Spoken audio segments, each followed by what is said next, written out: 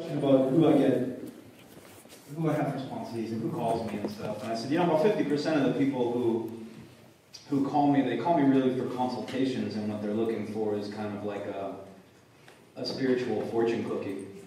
Uh, they're people I know, but I don't have that relationship with, and they call me, and I haven't talked to them in a while, and they what they're really looking for is like some Yoda nugget. You know what I mean? And uh, and a lot of you guys talk to you guys on the phone. I don't I don't do that. And I told Carrie, I said, people seem to walk away disappointed from conversations with me because I, at this point, number one, I don't have the energy, and I'm usually doing something else while I'm talking to you.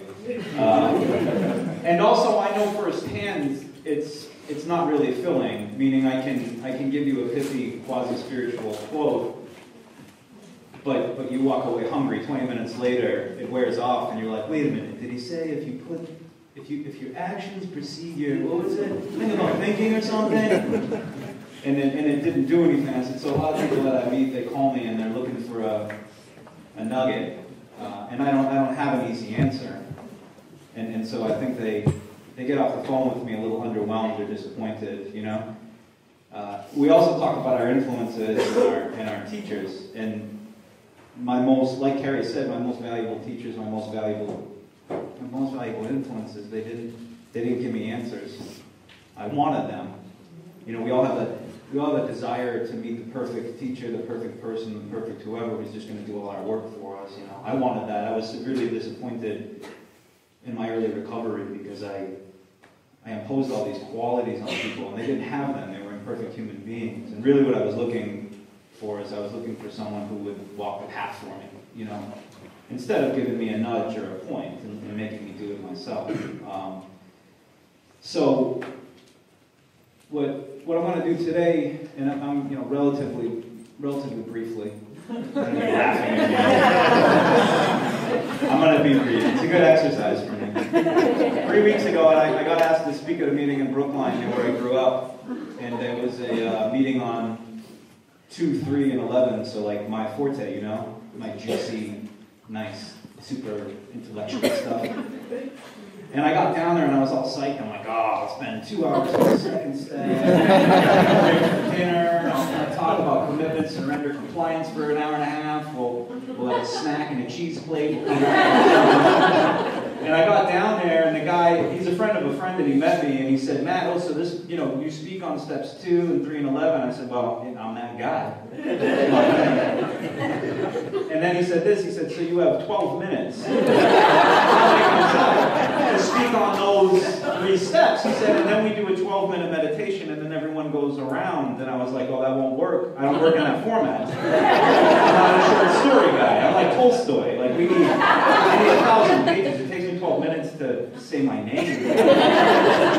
and you could see that on my face. I was like, did they tell you who I am? The guy who talks for a long time. And he's like, no, that's how we do it. And I was and uh, it turned out to be really beneficial. The guy who actually asked me to do it, who's a, a guy I've known, he was an alum of the PS, whatever, and he's, a, he's a guy who's doing his uh, PhD in theology. And he said this to me afterwards. He said, I said, hey, you didn't tell me I only had 12 minutes.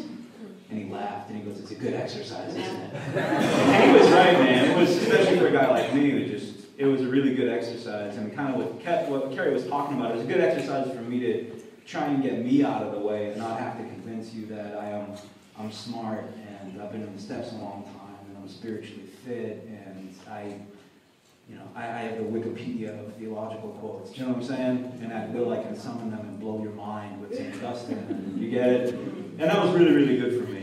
And, and, it's funny because I, uh, I only spoke for 12 minutes, but I think it may have felt more authentic than anything I've done in a long time because I had to get myself out of the way and I had to, I had to try and be helpful in a very short period of time. So uh, now that I've wasted a lot of time not talking about it, I'm going to talk about what I want to talk about. So um, a lot of the, a lot of my, my teachers, a lot of my influences, I never got to meet. Um, some of them I, some of them were alive when I got well, and, and they passed away. Guys like Sandy B that we talked about. Uh, a lot of them, you know, died years before I was born. Uh, some of them died 700 years before I was born. Um, the guy I want to talk about very briefly, and, and I'm not going to talk so much as read some of his passages and just hopefully they're useful to you where I can share this guy who's been so influential on me. And it's funny, Carrie's friend just came over to say, I'm reading this book and you won't believe it because it's by a Catholic. Well, this is a book by a Catholic guy. um, and this is a guy, without this book, I, I wouldn't be sober. And, and, this guy was a monk, his name is Thomas Merton. Um, yeah. I, I read this, this is about almost 12 years ago now, that I, I was in a position right before I got sober. I, lived, I had no money. I was homeless. I just got back from, from working in Mexico, if you want to call it working. and uh, I actually went into a bookstore in San Diego, Borders, because it's like a library but better, right? And um, I, I picked up this book, and I, I opened to a page, just I'd never seen this book before, and I didn't pick the page, I just opened it up, and my eyes just went to this one little paragraph that I'll, I'll kind of I'll, I'll end with it. But in essence, it said this: It says, "So long as you pretend to live in pure autonomy without even a God to rule over you, you will inevitably become become the servant of another man or the exiled and alienated member of an organization." Paradoxically, it is the acceptance of God as your true master that will set you free from human tyranny and from yourself. And uh, that was one of the most magical moments in my, my life. And that, that paragraph burned itself into my soul at that moment. And, and I was in a real crisis at the time as to whether or not I should steal this book. money. And I'm like, but I could use this, and I really need it, but at the same time, it's spiritual literature. Am I liberating it? Is it should it be stolen? I did not steal it. I, I sold blood plasma, and then I purchased it. Not making that up. 50 bucks for my human products. Some of you have done it. You know exactly what I mean. Uh, Merton, Merton, specifically this book, which is called Seeds of Contemplation, it, it was an entry point for me into the steps because I had been exposed to the big book, I had been exposed to the steps, the same vector that a lot of you guys, either directly, indirectly, or you know, we're all kind of we're a family in this room. Some of us are brothers, sisters, some of us are cousins, but we're all kind of from the same family as far as our recovery goes. And uh, I'd been exposed to the book, but my problems with with with recovery, 12-step recovery, my crises, I thought they were unique because I think I'm really special, pretty garden variety, you know. Um, I thought I looked for God. I looked for God, I didn't find God. Therefore, in my mind, I disproved the existence of God. You know? That's like opening your refrigerator to get milk. There's no milk. You're like, oh, milk doesn't exist. you buy it, you're just used to like your mom putting it in there. So, no, milk exists. It's a mystery. You know, someone bought it and put it in there, you know? And so, and again, I thought I was really special and unique. And my, my problem with the big book was, you know, all the anthropomorphic language around God and the pronouns. And, and again, I thought that that was a really special problem to have. And it turns out, as you guys all know, pretty garden variety problems to have, crises to have, you know. Uh, Merton was the guy who gave me kind of the, the key. Merton bridged it for me. Merton was one of the first guys that I heard who talked about God as an experience as opposed to an object. So, so Merton let me get access to the steps, and, and there's stuff that I read in this book, and I only understood a, a very small part of this book, and still to this day, I come back to parts of this book. Like any good teacher, there's there's stuff that I think I get. I'm so sure, I'm so positive I understand it. Five years goes by, something else happens in my life. I take a look at a verse and I go, I didn't get that at all, and in fact, I was incapable of getting it until I just had that experience. And a lot of times, for me, those experiences are painful experiences. Because another source of confusion for me at the beginning was that when I heard the term spiritual experience, spiritual awakening, you know, in Western culture, those terms have been misappropriated by the spa industry. And we've been led to believe that spiritual crisis, spiritual awakening is supposed to feel like the first time he did MDMA and went to Jordan's Furniture to go on a motion on a Tuesday night because you're clearly a drug addict. no friends. And, and so I, I kind of had that attitude that, you know, finding God, having a spiritual awakening, it was supposed to feel really good, which is why I was really confused because most of my major spiritual experiences were characterized by pain and confusion. And I would have never labeled them as spiritual experiences in the midst. In the middle of my major spiritual experiences, if you said to me, Maddie, are you undergoing a profound and fundamental spiritual catharsis, I would have gone, no, mind. And, and, it was frustrating because the, the, the, crew of people that I originally, you know, went through the big book with, the, the, the language that was used in my crew at the time was rather grandiose. Meaning people would have a, you know, take their, read their inventories and they'd come out and everyone, how was it? The hand of God. Support me.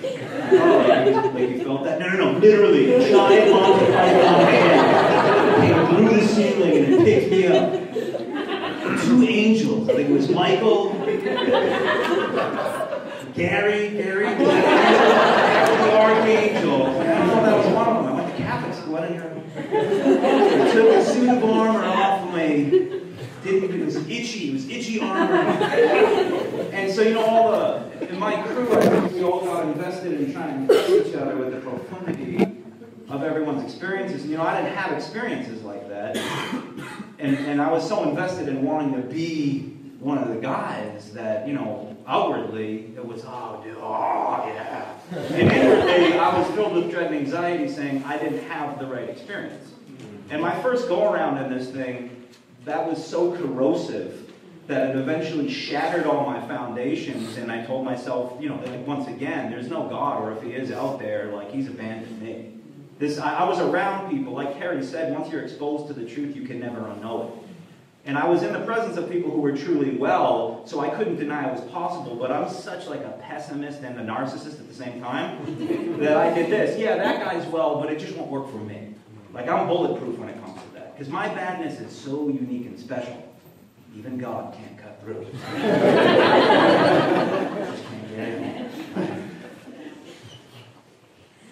Merton, Merton let me in. Merton kind of gave me an, an entry point. Uh, and, and Merton talked about God as an experience. And like Carrie said, again, not the experience you're expecting. My major spiritual experiences, it was only after I came through the other side that I realized I'm different. I'm different now. I'm different than before I went through it. And it was, it was chaos, right? We have all this beautiful spiritual poetry, all this imagery about, you know, the desert, the wilderness, you know. And if you're a guy like me who went to religious school his whole life, like you heard it, it's background noise, right? And after I'd actually kind of traversed a few deserts, I went, oh, that, that's too perfect. That's just too perfect, because that's, that's what it was for me. It was, it was a desert, you know. And, and no one could carry me through the desert. There were people who inspired me and said, just walk, just trust me. It's, it's, you can't see it because it's on the other side of the horizon. Can't see over the horizon. You've got to have a little truck. I can't carry you. I would if I could, but if I do that, it's my trip, not yours. so you've got to walk, you know. And Merton was one of those guys for me. So I'm going to just read a couple of couple of verses, a couple of paragraphs of, of Merton. And uh, if it hits you, that's beautiful. He's way smarter and way more profound than me.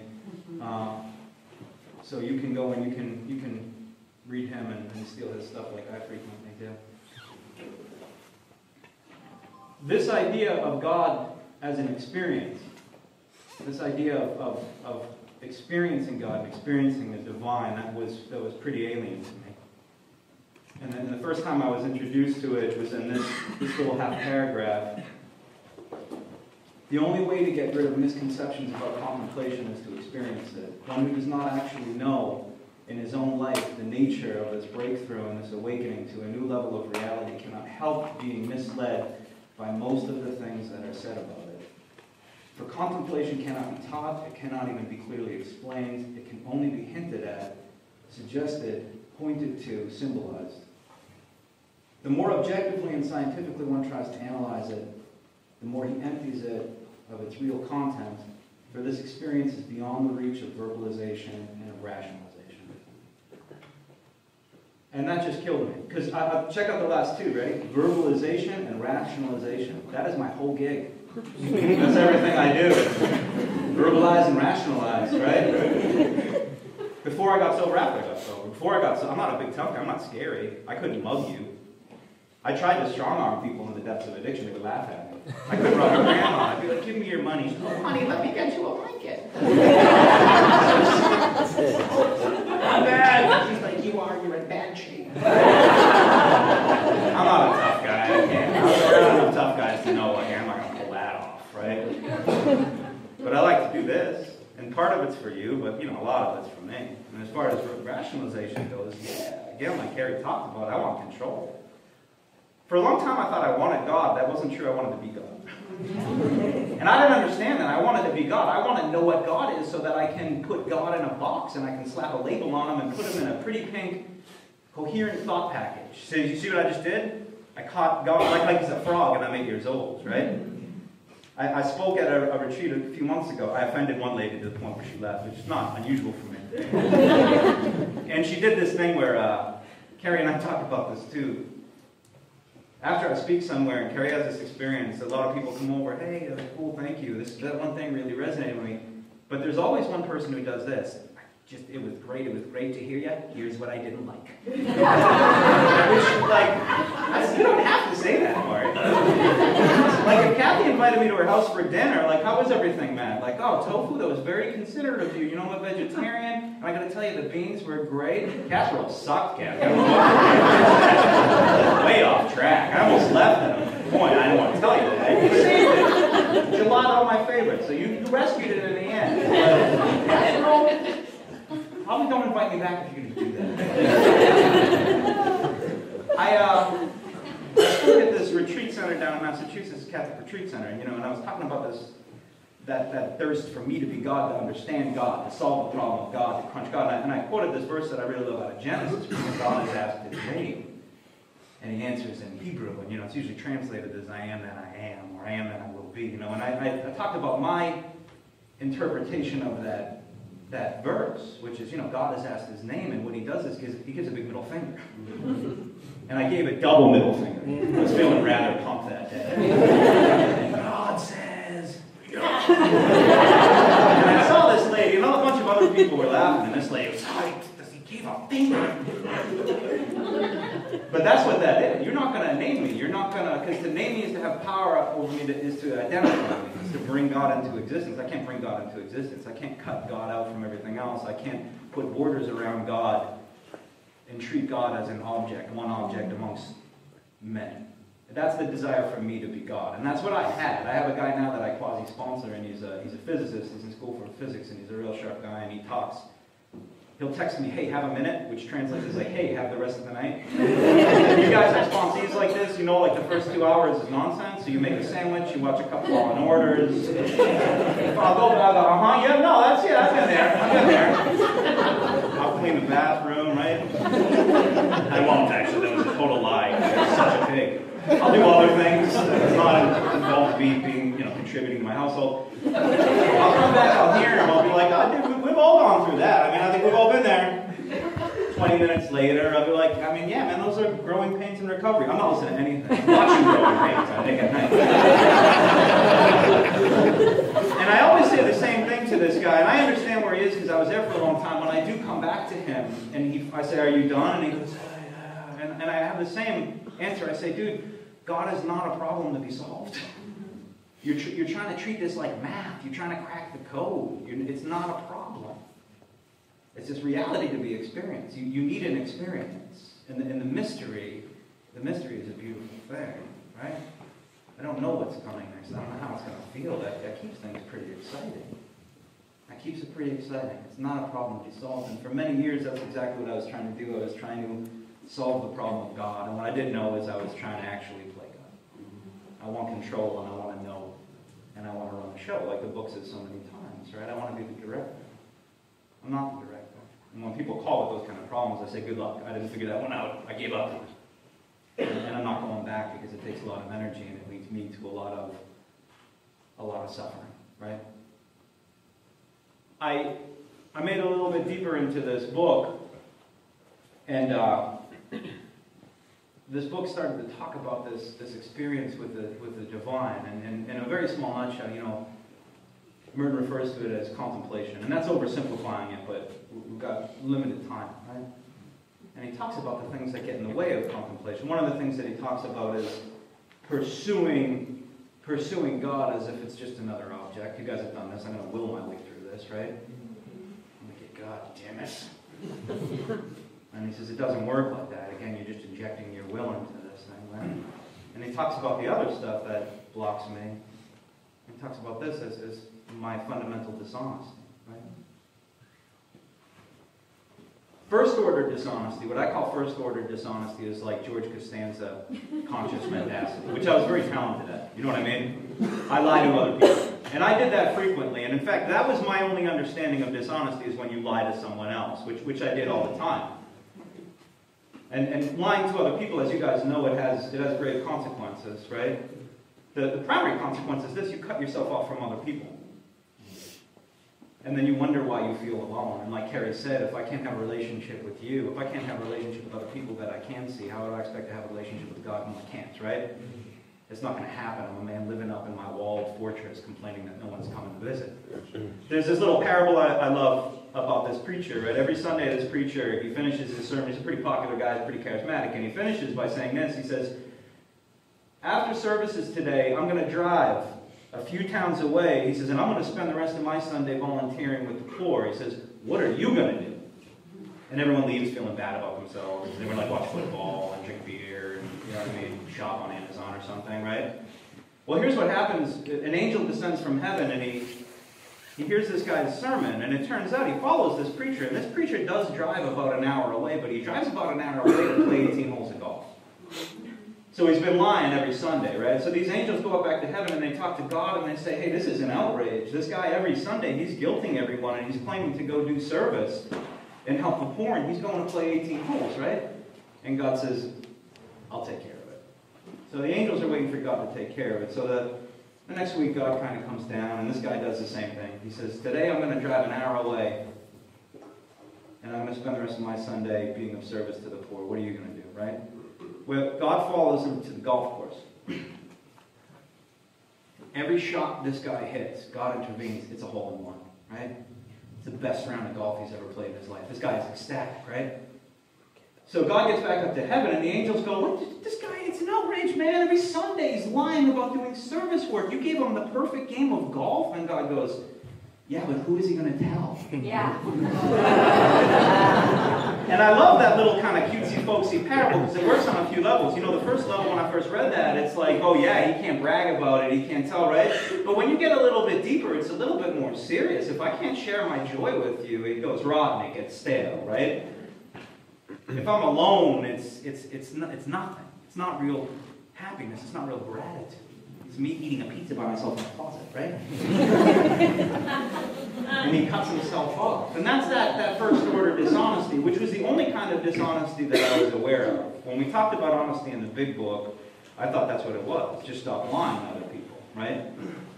And that, that kind of dishonesty, it comes with some pretty big consequences. You also get depressed and you also get anxious, as you know, because you have to spend all your time guarding your lives, right?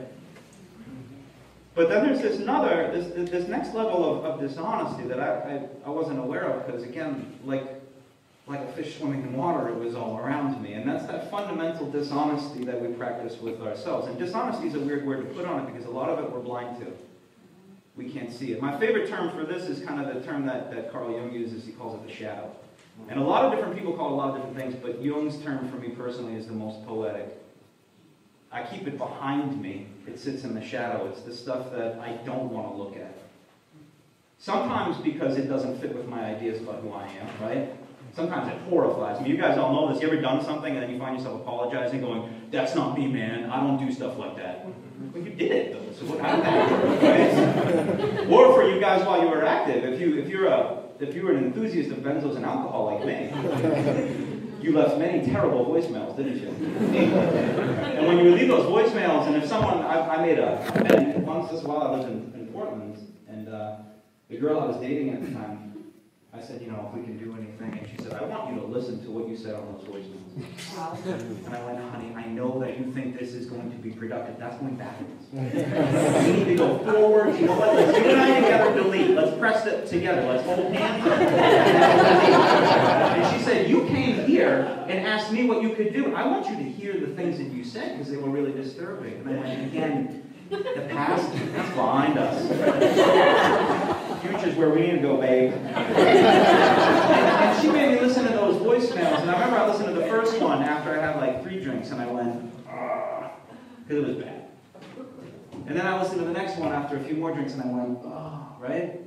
And then as we got deeper, it wasn't just cringeworthy, it was horrifying, because the things that I said, they were alien to me, right? Where would that come from? Well, where did it come from? Me, that's the stuff in the shadow. It was so horrifying to me that I denied it was inside of me, right? And I'm living on the surface and I'm not looking at that. And until I address that, until I go in there, until I do what, what Jung called traversing the swamplands of the soul, until I can bring that up into the light of consciousness, until I can embrace the stuff that's blocking me from God, guess what I'm not going to find? God. And again, that's me opening the fridge going, milk doesn't exist. no, no, no, no, no, you haven't, you have God right? And, and you know, the nature of, of most of this work that we're doing, that's what it is. It's, it's looking in there and it's going into the shadow and it's finding that stuff and it's uncovering the fact that I'm a, I'm a self-seeker even when, right? Even when I'm putting 10 bucks in the box, right? Julia, oh, I can't reach the box. Can you put this 10 dollars?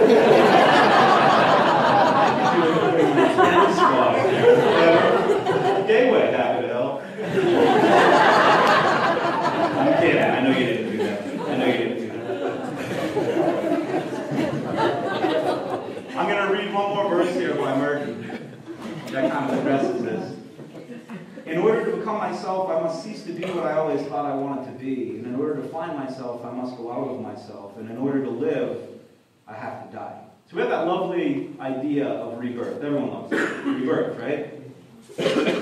Flowers and birds singing, right? Seinfeld, remember George Costanza wants to move the wedding to this spring? He's like, birds, all that crap, spring! I love the idea of rebirth. In the big book, right? We were reborn. The flip side of that coin, though, if you want to be reborn, you must die. You must die to who you currently are, or at least your ideas about who you are, that false self. He goes on and says this The reason for this is that I am born in selfishness, and therefore my natural efforts to make myself more real and more myself make me less real and less myself because they revolve around a lie. Right?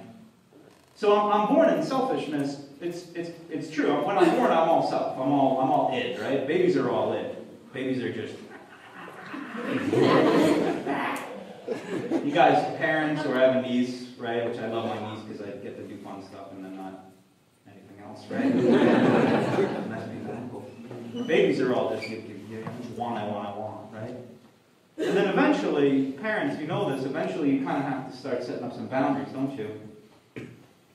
So that that baby reaches for a cookie that's not hers, it's their sister's, and what does mom have to do? Stop. No, bad girl, right? No, not yours. Bad, right? now, now we got these two forces. Now we got my selfishness, and now I have constraints, meaning I'm being told no. By my by society, in this case, my mom, right? No.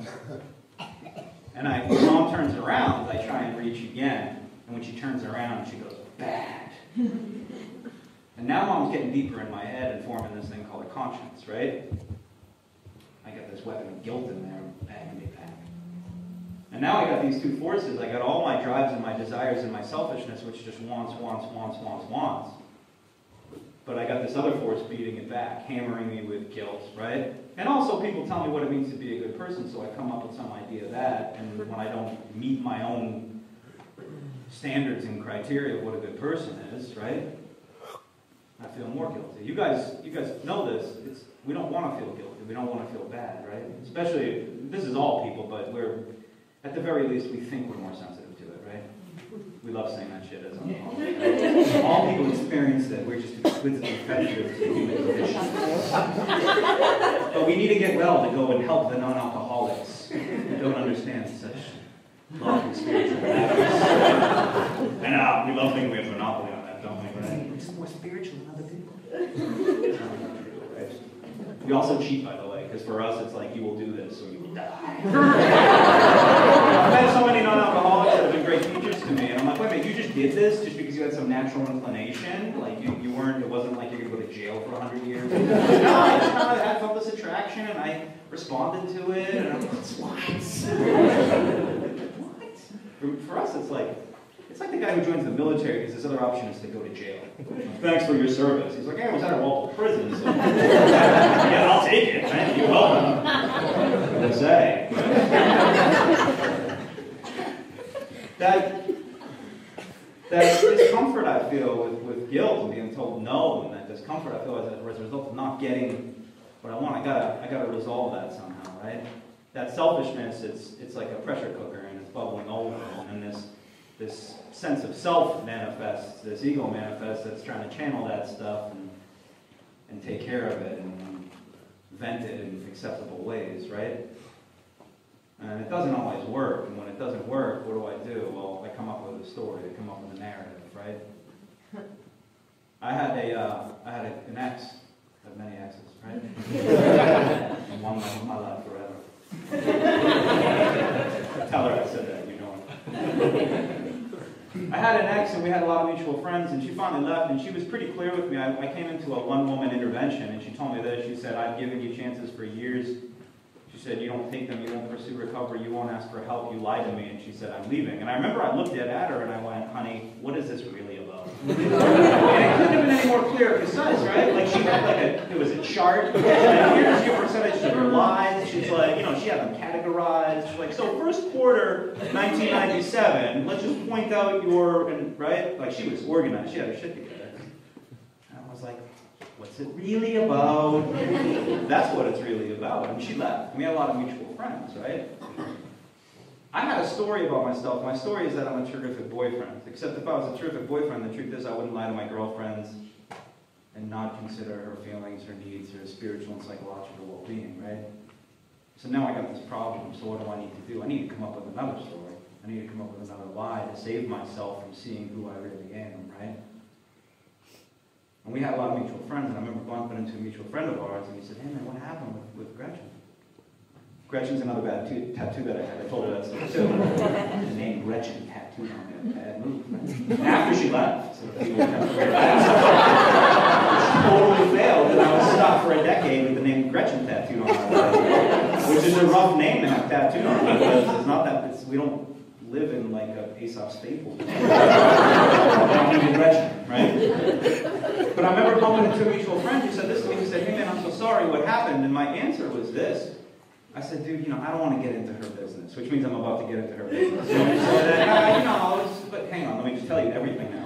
said, she's a great kid, you know that. She's terrific. It's just she's got, I mean, a lot of, you know, stuff to work on. Eating disorder. and, you know, man, I've been trying to get her help, but she just projects all that shit on me. And I mean, you know she's great. I hope that she someday gets the help that she so desperately needs.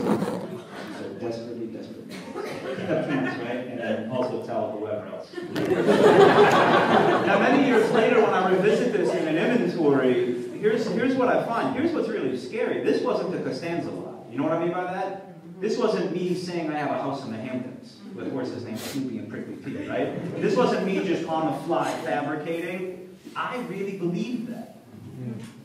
Because the truth, which is I prioritize my own short-term ease and comfort over the well-being of any other person around me, which is real grown-up selfishness, as opposed to what I thought selfishness is when I came into the book. I thought selfishness was I wouldn't share my cookie with you, which is why for me to grasp the idea that I'm selfish. The guy who sponsored me for many years said, your problem is you are selfish and self-centered. I didn't even get offended by that because I went, yeah, I'm not, I'm not seeing it. I can see how that would apply to lots of people that you work with, but I think you gotta look somewhere else. I'm not selfish, man. I'll give you my last smoke while we're at detox. I really will. I always give homeless guys games. I always do, right? I help the little ladies carry bags. I always do. I always do these things.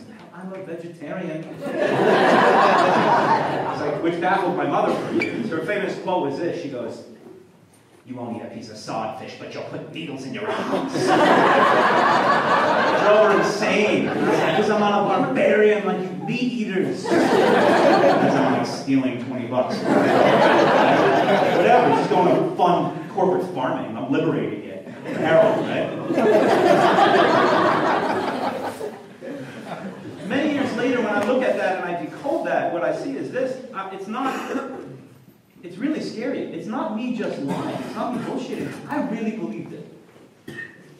Because I was so I was, I was so delusional about seeing who I really was, right? I'm, I'm, I'm so invested in the story that I don't know who I am, right? Merton later in this book, by the way, he defines hell as perpetual alienation from your true self. And, and so for me, I did this over and over again, and, and I don't, and, and, at the same time, I'm baffled as to why I suffer so much, and I feel so lonely, and I feel so much despair, and so much nothingness and pointlessness and crushing sense of meaninglessness. And even when I'm around people, I still feel lonely. You know that? That awful feeling? I'm around people and I still feel alone. Mm-hmm. Yeah. Well, it, well, it turns out what I don't see, I'm, I'm like a guy who's drinking seawater. He's drinking salt water and then complaining about being thirsty. I'm so thirsty, it's terrible. Hang on a second. And I'm not willing to listen to anyone because I'm the smartest man in the world. So when someone goes, hey, dude, that you're drinking such, wait, I need a drink because I, and I do get my relief. I get 22 seconds of relief, right? It's still liquid, it's still wet. You guys know you're swimming in the ocean, you get water in your mouth for a minute, you're like, oh, that's good. And then what happens two minutes later? I'm just thirstier, right? And I can't see that. I'm invested in believing that I'm a person that I'm not. So Merton goes on to say this. Says, People who know nothing of God and whose lives are centered on themselves imagine that they can only find themselves by asserting their own desires and ambitions and appetites in a struggle with the rest of the world. They try to become real by imposing themselves on other people, by appropriating for themselves some share of the limited supply of created goods, and thus emphasizing the difference between themselves and the other men who have less than they or nothing at all. They can only conceive one way of becoming real, cutting themselves off from other people and building a barrier of contrast and distinction between themselves and other men. They do not know that reality is to be sought not in division, but in unity, for we are members of one another. The man who lives in division is not a person, but only an individual. And so what he's talking about here is not necessarily going off to live by yourself, although he addresses that later in this book. I, I, get, I work with guys all the time. They go, I'm going to go, you know what I need?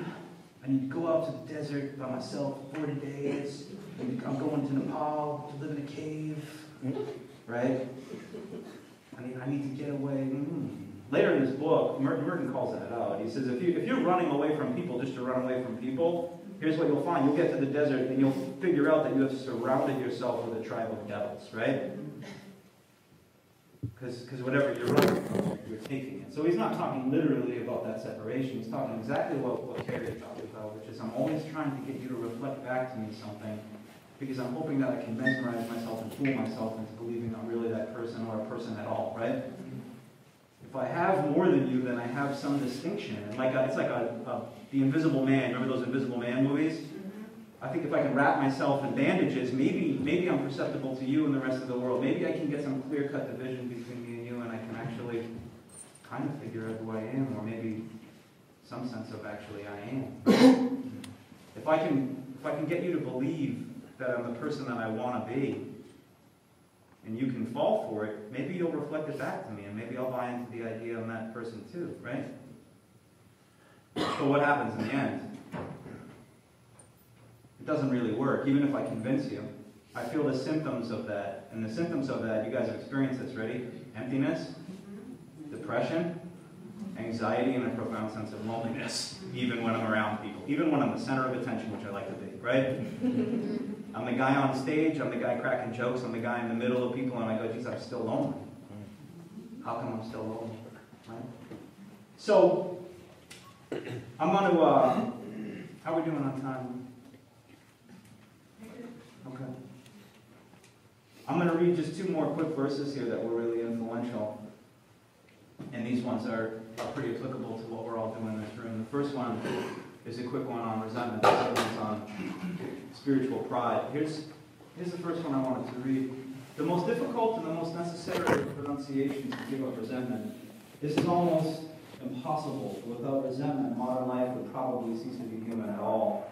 Resentment enables us to survive the absurdity of existence in a modern city. It is the last ditch stand of freedom in the midst of confusion. The confusion is inescapable, but at least we can refuse to accept it we can say no, we can live in a state of mute protest. You guys ever find yourself in love with resentment? Mm-hmm. Anyone ever write a mentor you realize you, you, you have a resentment baby? so you're like, I don't know if I want to give that. I really like that. You know what I mean? I don't know, you know? If I have a resentment against Greg and I'm like, oh, if I give that up, what do I have to do? Have a new relationship with him? Reevaluate who he is, right? Accept, or maybe I'm wrong, or maybe he's okay, or maybe it's not my job to change him. Maybe he is a jerk and it's just not my job to change him. Maybe that's his own business, right? I get resentment babies all the time. I coddle them like they're a puppy. right? And I'm call my sponsor, and she's really good. And she's she's very. My sponsor is. Uh, she lives in Israel, and she's got a totally different style than me, and I just you know, I worked with her for many years and have great respect for her. And She's got a very different style than me, and she'll make these suggestions.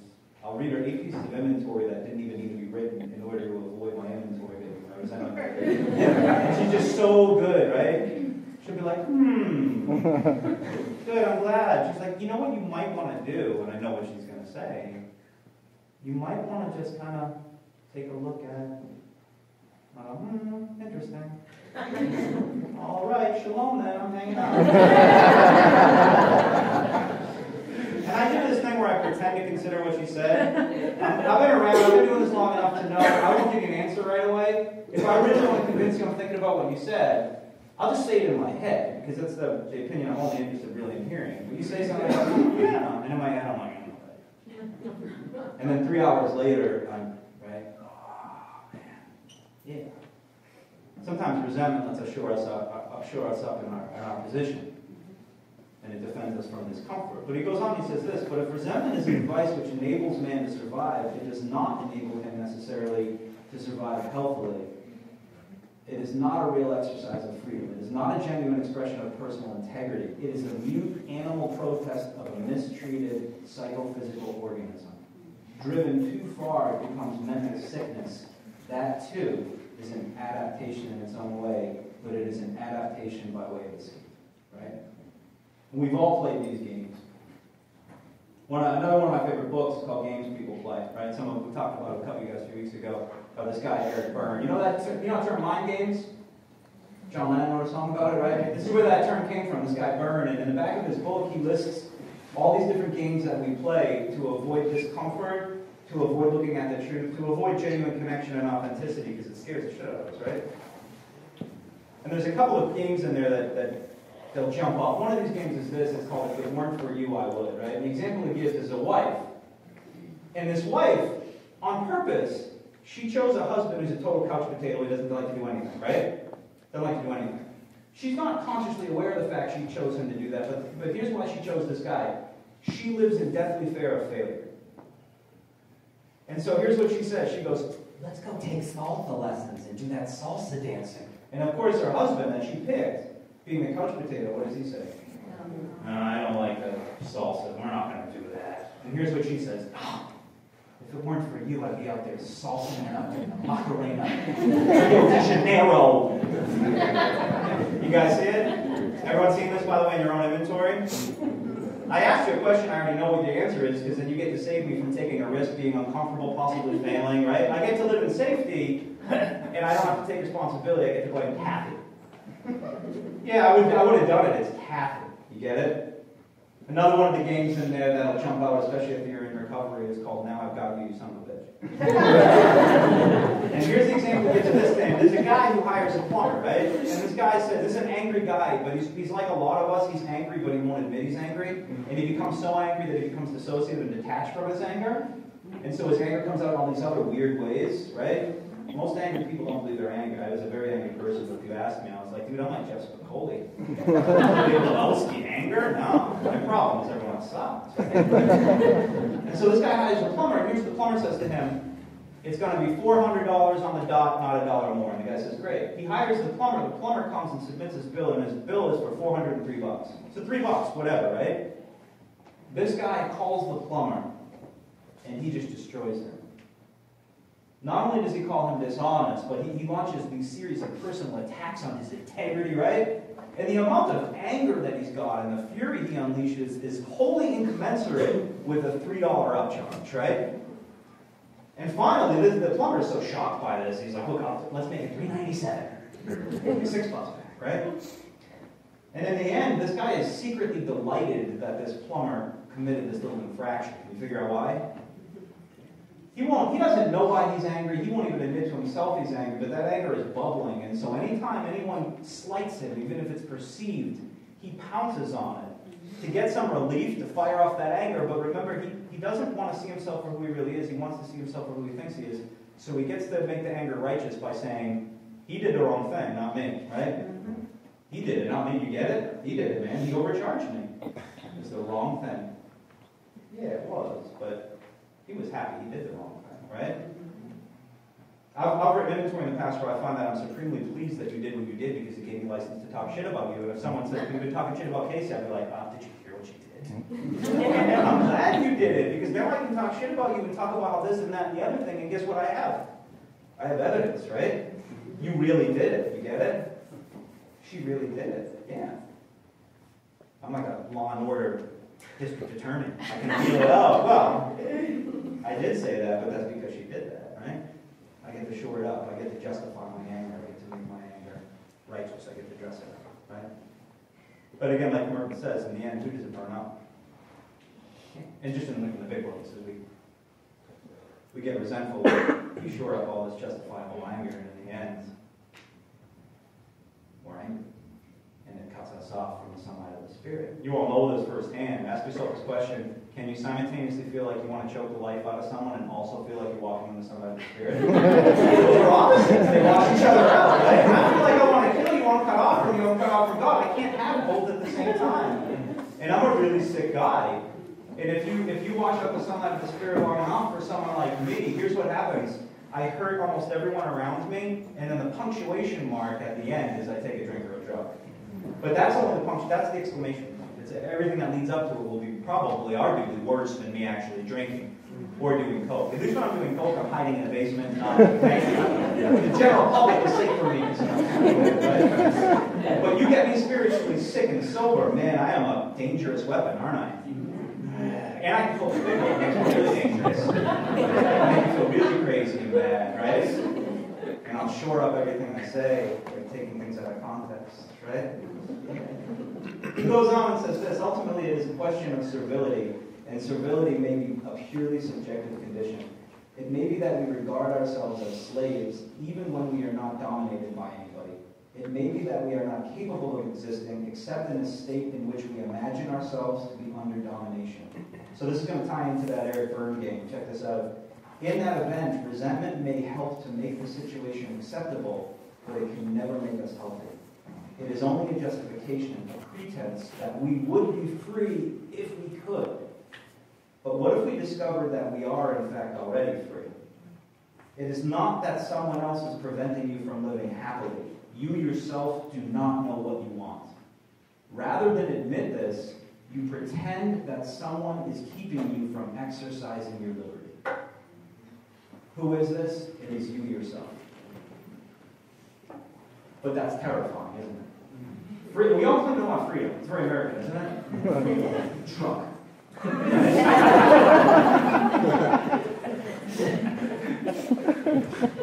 but freedom is really scary. Freedom means freedom. What's implicit in that is you are now responsible for what you do with that freedom. Be it a big freedom or a little freedom, right? Even the freedom you're on, you're, you're, you're buying something, you freeze up. Well, what if I make the wrong choice? What if I hate that? I'm stuck with it, right? So most of us, we think we want freedom, but at a deep level, freedom really, really scares us. So I'd rather, I'd rather get rid of my freedom and not own the fact that I don't want freedom and be able to blame it on you. I'd be happy if only, right? If only, right? A lot of us, when we when we write an inventory, we find that our whole moral system, our whole ethical system, it's all it's all reactive. I, it's, it's all based off of resentment, right?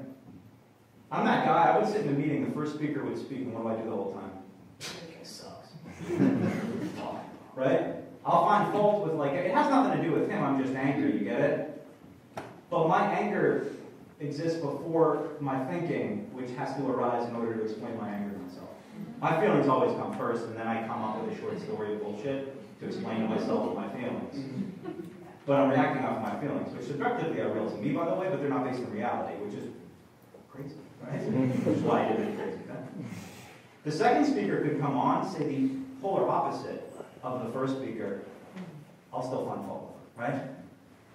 Everything I do is based on this childish rebellion, which I thought made me original, but ironically, what does it make me? Not only a child, but also there's nothing creative about that, is there? You get it? My whole identity is based off of the thing that I claim to rebel against. That makes sense? Mm-hmm. It's like if you made a sculpture and it was really beautiful out of marble or something, and, and everyone's like, wow, that was terrific. And I picked up the scrap pieces and I'm like, uh, guys, check out what I did. You didn't really do that. That's the excess, right? my, my whole worldview, my ethical system, if you want to call it that, that's what it was based on, childish rebellion. Whatever you have, I don't have, I'm angry at you, I target you, so I just distance from myself from you. I talk shit about you, I demonize you, which means whatever is furthest from you must be good. I'm furthest from you, so I'm good. you get it? You guys see how unoriginal it is, though? It's ironic that this guy considers himself to be really original and a pioneer. My story about myself is just based off of just really petty resentments. I'm just a negative form. I'm the stuff that you carved off when you did something good and creative, right? It's easy to be a critic. You guys know that, isn't it? It's easy to tear things down. That's really easy, right? You can only define style in a negative that way. You can never truly be creative, can you? Right? He goes on and he finishes this. He says this. He says, But as long as you pretend to live in pure autonomy as your own master without even a God to rule you, and that's the first thing I ever read in this book, you will inevitably live as the servant of another man or as the alienated member of an organization. Paradoxically, it is the acceptance of God that makes you free and delivers you from human tyranny. For when you serve Him, you are no longer permitted to alienate your spirit in human servitude. God did not invite the children of Israel to leave the slavery of Egypt. He commanded them to do so, right? So he says this freedom is already here. And it's, and it's waiting for you if you're willing to let yourself free from that captivity. The last thing I want to I want to talk about is, is spiritual pride. This has been on my mind a lot lately because I've seen a lot of damage done. And there's two forms for me of spiritual pride. I'll, I'll read briefly about both of them, right? The first one is, is more evident. It's what Carrie talked about when you're really proud of your humility. You look around the room going, hmm. Usually, you guys are just in a meeting, someone's talking, and you go, this guy needs to be humble out of here. guy needs a good dose of the old vitamin H. Part of you, so you're not resentful or anything, you're like, he'll relapse soon. he'll relapse soon is a way of you wishing that he'll relapse without admitting to yourself like that you're wishing someone were. You know that? You know that thing? You're not resentful, right? It'll be good calling the herd. It'll be a good message to the rest of the community. You shouldn't do that's a big resentment. You just you kind of put it in a different con. You changed it syntactically, but that's you kind of wishing that someone relapsed. Don't look horrified at me. You got it. Somebody did it this morning. Yeah, the nooner. Yeah. Gave him ten bucks, right? and you look around, going, "Yeah, I'm working on humility, and I'm glad." I'm around a bunch of people who aren't humble. Probably around. That's the most humble I've ever been. You know what? I can feel good about that. The, the pinnacle of humility. We see it. We see it two ways, right? We see it two ways. One is one is this, and this is this has been a tragedy lately. You guys have seen this social media. Now, this breaks my heart sometimes. You see a guy with four months of sobriety, someone makes a video of him and puts it on the internet. And it's ultimately it's an advertisement for whatever. Which to me just breaks my heart on so many levels. It's prostituting this guy's experience and his recovery and it's using him. I, I read this the other day. Remember, you guys probably remember this, it was awful. A married couple overdose and someone filmed it because that's yeah, that's who we are now, right? Oh my God. And they put it on. And here's what's even more heartbreaking. Two days ago, I'm looking. Some treatment center took them in and whatnot and gave them free treatment, which at first you're like, that's awesome, except guess what they also did? There are videos of them talking about their recovery with the logo, saying like, now that I'm at Serenity Hills Acres Farms Park. and you're like, oh man, that guy is a minute sober. You guys see that? So listen, some of you guys have suffered this in the past. You need someone to help be objective with you and tell you these are the things you're still suffering from. Watch out, they'll kill you. And instead, what happens is someone, someone says this: "You're terrific. You're great." And, and here's why that's dangerous. When you first hear that, you're like, "Oh, that's that's showing someone out." Imagine though if I'm your oncologist, Casey, and, and in stage four, and you go, "How is it, doc?" And you go, "Man, I want to get out here and play racquetball." You're so great. you're terrific. You leave my office. You're the nurse, and you go, "Doctor, she's dying." And I go, "I didn't say what was terrific. I never smiled. It's great." well, that's kind of harmful, isn't it? I led her to believe everything is great and she's a fully cooked like turkey coming out of the oven when in fact she's, this is a process and it takes a lifetime. And, and we see that, and sometimes it gets wrapped, it's kind of, it's kind of dirty, it gets wrapped in the, in the like, uh, oh, well, let's promote awareness of recovery. Yeah, that's good, but this is, this is not what that is, right? Thank God when I was four months sober, people didn't advertise me and I didn't have people lining up to tell me how great I was. I'm so grateful that at four months, I had a guy who sponsored me and for years I was pretty sure he actively disliked me. I still think he does, right? and like Carrie, like Carrie said, I, I'm a, I'm a, my narcissism and my arrogance is potent. I need someone, I need someone to make me look in the mirror when I don't want to, right? And I would call him with this self-seeking stuff, like, my God, just calling you. Why? Why are you calling me? Oh, no, I just on my way home from a meeting. It was, it ended up too, but a stack chairs and uh, this, and there was a uh, handicapped guys carried across 93. I saw out of breath because I've been uh, carrying uh, lepers and handicapped men. Woo! But anyway, what do they call about? And he's like, I don't know. What did you call about? Why are you calling me? What can I do for you? Oh, how are you? You don't care. And you hang up, you know? I needed a doctor. I needed someone to tell me what was what I needed to work on, you know? Because he cared about me. That's compassion. Compassion isn't the same as enabling. We use that a lot. Compassion means I suffer with you. I'm willing to actively suffer with you, and I'm willing to share in your suffering, which means I'm, willing to be honest with you when it's going to benefit you and it's something you need to know, right? If we're out hiking and, you know, Ceci walks into a branch, the blood, like, is it bad? No, it's not bad. I, I didn't want her to freak out.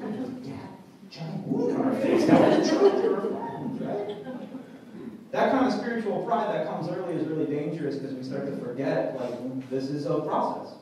And it's a long process, and it's an arduous process, right? The second kind of spiritual pride comes when you get deeper into this. And it, all, it is also, pay attention to this, it is also fueled by people telling you how great you are. It's great to hear you're great, but you want to keep people in your life who are willing to be honest with you and not just tell you what you need to hear. That's what buddies are for. You guys know, you know what I mean? I, that's the difference between a buddy and a friend. A buddy is the guy you call, like, oh, girlfriend, dude, she's totally unreasonable. I'll be hitting on her sister and stealing her ATM, right? That's not even happening. Like, dude, that's outrageous, man. Yeah, you're right, right? A friend is someone who's willing to say, what? Yeah, you know what, man, that's not cool. I can't blame her, dude. What's up with you? I don't even know if I can be your friend if you continue to do that stuff. I can't get around someone like that, right? And, and a lot of you guys like me who were into the process and tasted a little bit of peace and then relapsed, right? I lived in Portland for nine months when I had attained spiritual perfection and transcended my humanity, right? Which is why I was so confused one night when I noticed I was drinking in the old port. At a, I was a, a bar manager, and that's I was so confused. Like, wait a minute, I was that got me enlightenment, right? You know what I had every night? I had people coming into the bar I worked at and saying, "Hey man, you mind if I ask? I heard you didn't drink." And I go, "No, I don't drink." And they go, "Dude, that's really impressive. You like, you're a real inspiration, man. You're in here every night bartending, running the bar, and you don't have to drink." And I go, I, am. I'm a good, good man. the worst thing you can do for a guy who's eight months sober is keep telling him how great he is. You know what I'm saying? I'm not saying you have to hit me in the face in the brick way. I need someone to be honest with me. And you guys who have relapsed after the steps, like when you know how painful it is, you know how painful that is. You build up the spiritual pride, and all of a sudden, oh man, this was never supposed to happen again, right? And the other kind of spiritual pride, and this really hurts when you get knocked down, is this, and pay attention. This is when you you get to a year, you get to two years, and, and like I said earlier, you're, you're listening to other people talk about their experiences, and their experiences don't match your experience, right? and you're still struggling, and you start to question yourself and say, why am I still struggling? You will struggle forever. Mm-hmm.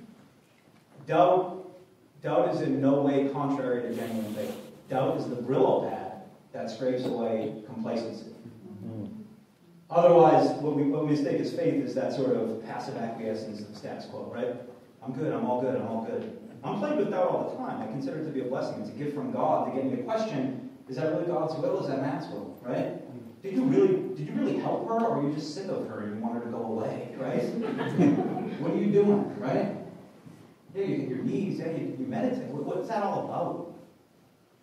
I, I need that, right? We hold ourselves up to a set of principles we'll never meet perfection. We'll never meet it, but what that ensures is that we're going to be going until the day we die. I'll get to grow, and I need to grow because it's like a bicycle. I need to keep moving forward, right? He writes this about about pride.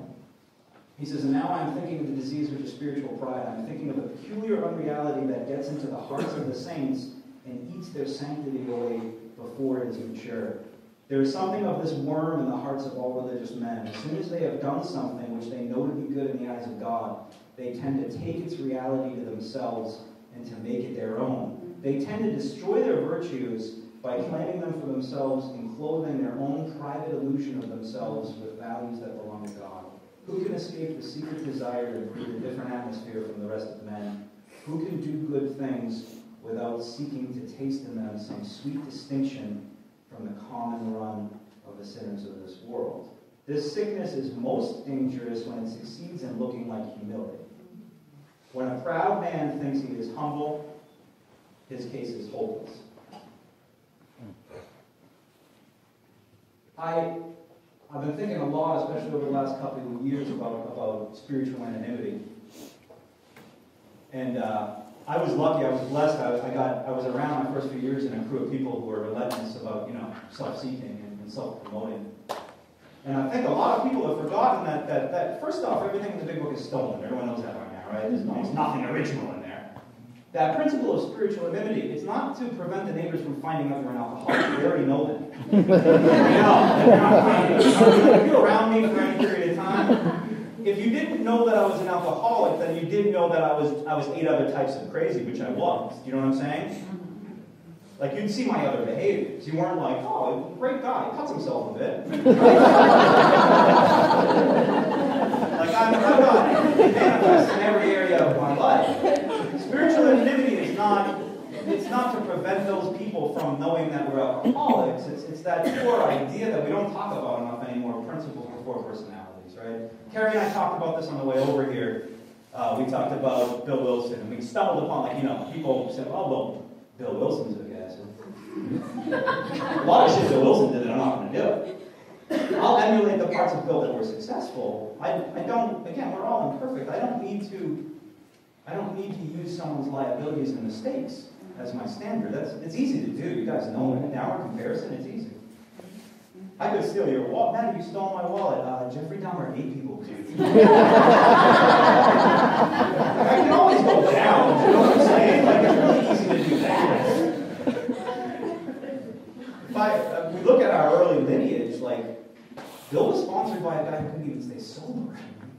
Bob was sponsored by a guy who, by Bill, who was never spiritually fit as Bob was. If I had those two, Bob's always been my hero, right? this is really important. You've all experienced this. You've had people who were wonderful teachers and passed the message on, and then, you, again, they disappointed you because they turned out to be human, right?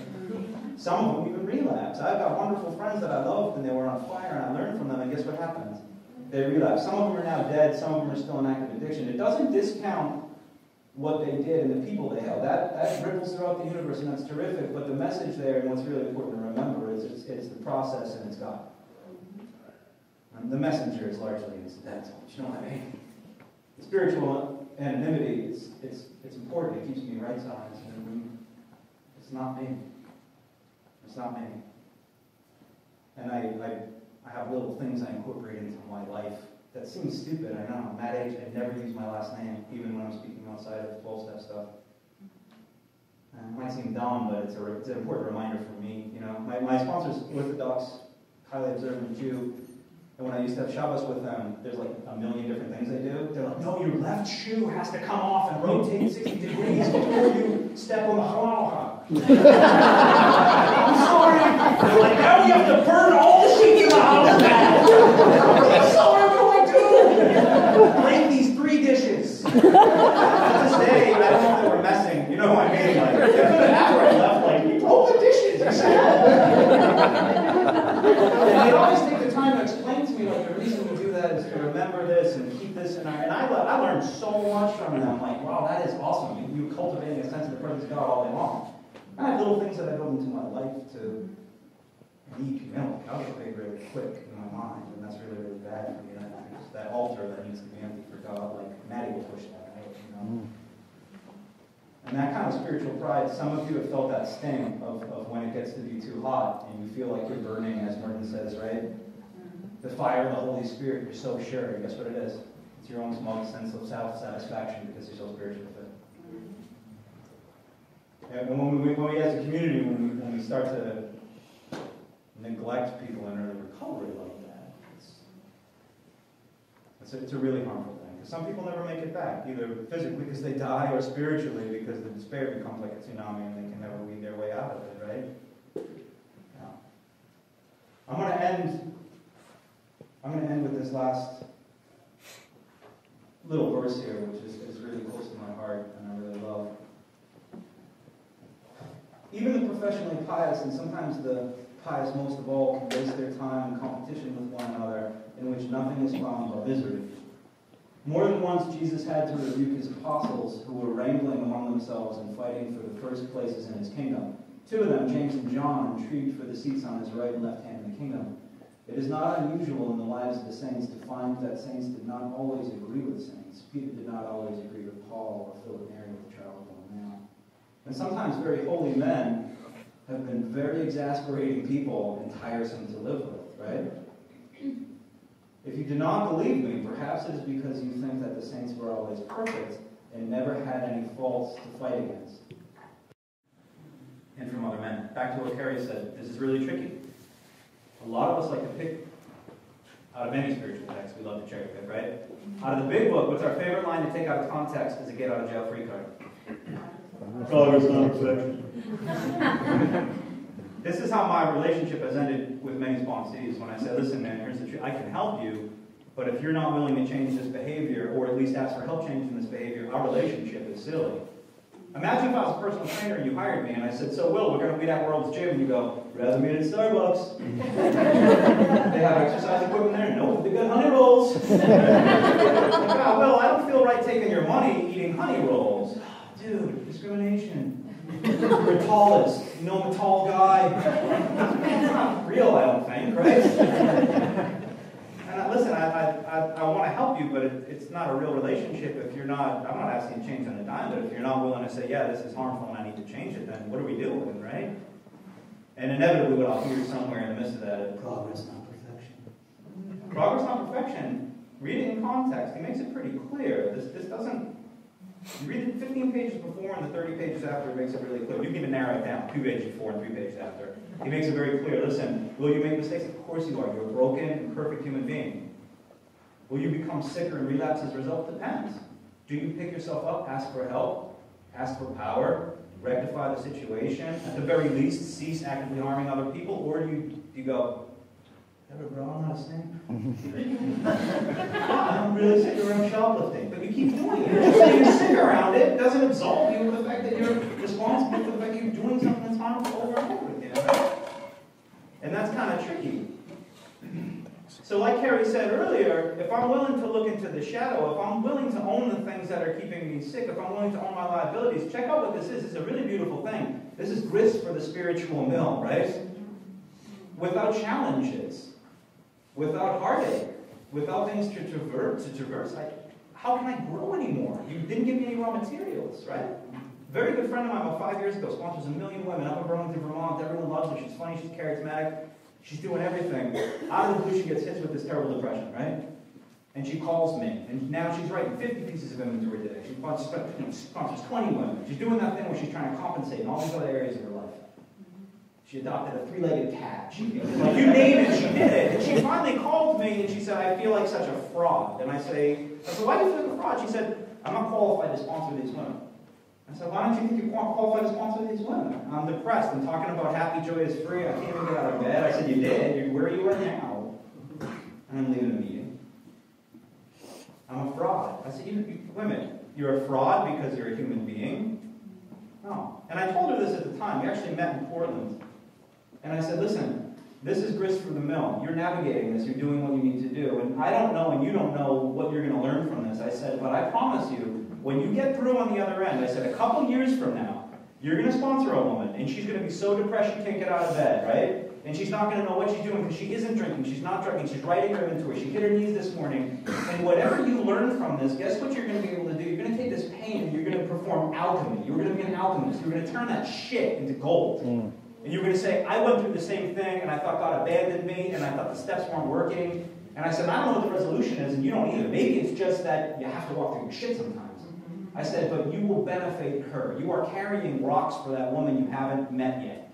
You are carrying a load for her. That's real altruism, that's real compassion. And she looked at me and she went, I hate you. She's a wise ass. And I said, about, about what? I say lot of shit, most of it's right. and that's what we rewarded. And she said, yeah, I just sat with this woman. She's, she's struggling, man. She can't even get in the shower. And, she's, and she said, you know, I just sat with her for two hours. And she didn't have a nugget, but here's what she said. I'll feel pain with you right now. I walk through that, right? So all that nastiness, all that stuff, that is grist for the mill. That's your raw material. You, you open your door tomorrow, if there's a three-ton stone out front of your door, you can look at it two ways, right? One is that the kids in the neighborhood have got really advanced in their premise. Three-ton piece of granite. but imagine this. Imagine if, like, Bocciari or like Rodin or a sculptor opened the door. Guess how they would see it? What a gift! Some anonymous donor, some anonymous benefactor let me sculpt today. Man, this is beautiful. Thank you, right? Praise God. This is beautiful. I'm going to be able to sculpt today. You, you look at your mess and you can, it's all right? It's spiritual grist for the will. It's something for me to negotiate. It, it will never end, by the way. The day that you transcend your humanity, you should be really worried and you should put away money for like you know detox and treatment. That's a dangerous place to be. You guys remember that Seinfeld episode where Jerry's talking to Newman and he goes, "What's up with the post?" He goes, "The postal service." He goes, "Mailman." He goes, "Aren't those the guys that freak out and shoot everybody?" Yeah. And Newman goes, "Sometimes." And Jerry goes, "Why is that?" And Newman goes. It's because the mail never ends. Finish and come back and there's more and more and more, right? And that's like that's a spiritual life, man. It never ends. You're never gonna write the inventory that gets it all done. You're never gonna walk through the pain that gets the pain done. You're never gonna go through the loss that gets the loss done. You're never gonna deal with the disappointment that gets the disappointment done. Like this is your gift, this is living in color. And without that, you have no grist for the mill. Without that, you have no raw material to grow spiritually. You just don't have it. And I'm not saying it feels good because still to this day, almost 12 years into this, it doesn't feel good for me and I still complain about it. But after I navigate it, guess what I'm really grateful for? Thank you. Thank you for the granite, man. I'm, I'm a little bit, I'm a little bit closer to God. I've grown a little bit, just a little bit, right? Here's how he finishes this, and then we'll we'll finish up. He says, "Be content that you are not yet a saint, even though you realize that the only thing worth living for is sanctity." Then you will be satisfied to let God lead you to sanctity by paths you cannot understand. You will travel in darkness in which you will no longer be concerned with yourself and no longer compare yourself with other men. Those who have gone by that way have finally found out that sanctity is in everything and that God is all around them.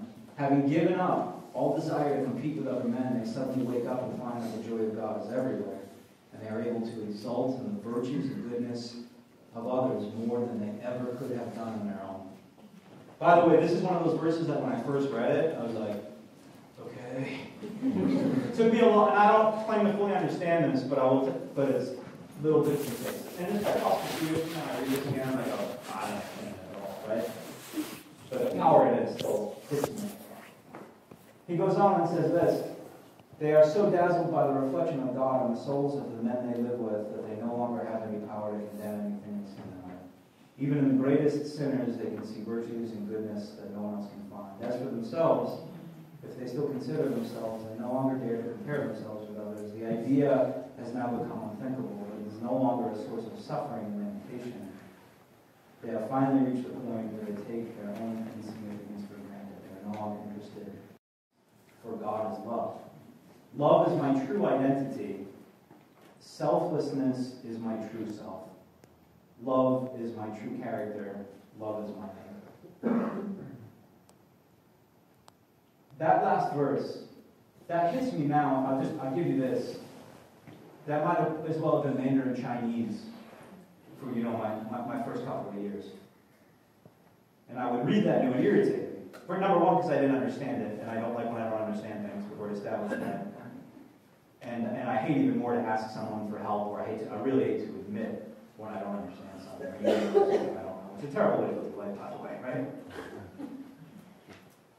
took me a long time to taste that that last verse and get a little inkling. So if, if right now, if you're in a place where you're like, yeah, love is what? It's a love thing, and God is love, and love is God, and love, right? Stick with this for a little while. Stick with this for a little while, and, and keep this, no pun intended, like seeds in your head, right? and play with that. There are many things in my life that, that someone said to me, or I experienced, or I read, and, and, it, and it sat there kind of dormant until I passed through a certain road. And then, boom, I'm like, oh man, right? I got it. So I'm going to end on this. I'm going to leave that, I'm going to read that last part one more time. Ready? To say that I am made in the image of God is to say that love is the reason for my existence. For God is love. Love is my true identity. Selflessness is my true self. Love is my true character. Love is my name. Right? His, his, he does it way better than me, so I'm gonna, I'm gonna end with him. In a way, even though tax on him.